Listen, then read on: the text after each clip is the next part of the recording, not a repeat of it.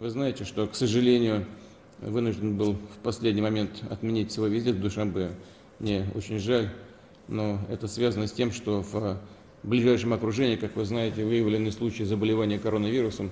Это не один, не два, несколько десятков человек. И теперь приходится в течение нескольких дней соблюдать режим самоизоляции.